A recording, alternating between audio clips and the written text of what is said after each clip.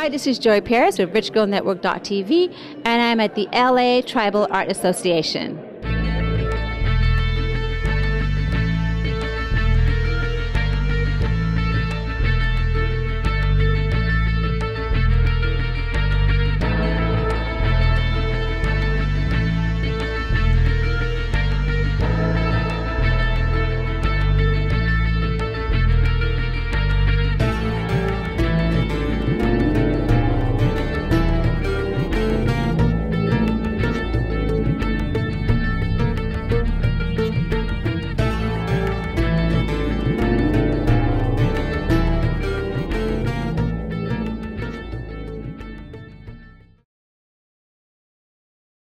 This is Joy with RichGirlNetwork.tv, and I'm here with the co-founder of the LA Tribal Art, LA Tribal Group. uh, LA Tribal Group, and this is Mark Johnson. So, Mark, tell us a little bit about why you started this wonderful organization, and then about your collection in detail a little bit.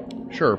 Uh, about 10 years ago this year, actually, a small group of us decided to uh, get together to form an association. It was very loose initially, uh, to work together to try experimenting in different kinds of ways to reach out to a new audience.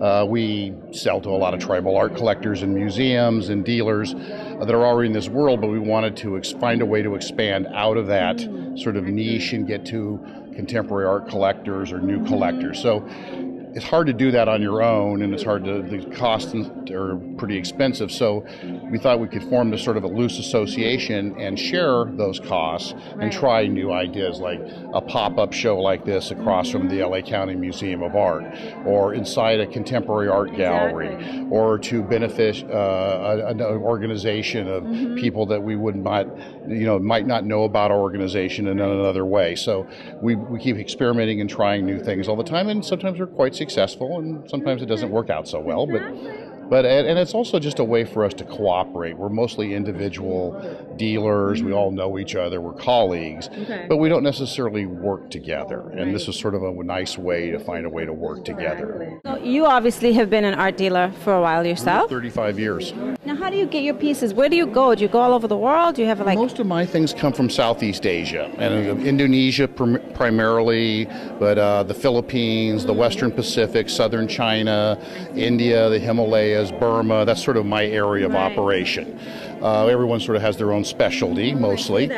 That. I saw that. And uh, because the kind of material I have is still found in the field, I can actually still buy it over in Asia.